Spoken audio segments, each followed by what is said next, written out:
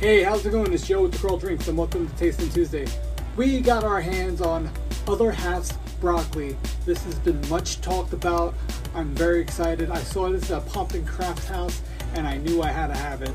This is a double dry hop Imperial IPA. Um, on the sides, it tells you all the hops that are in it. It gives you a little rundown, and let's crack it open. It's nice and hazy.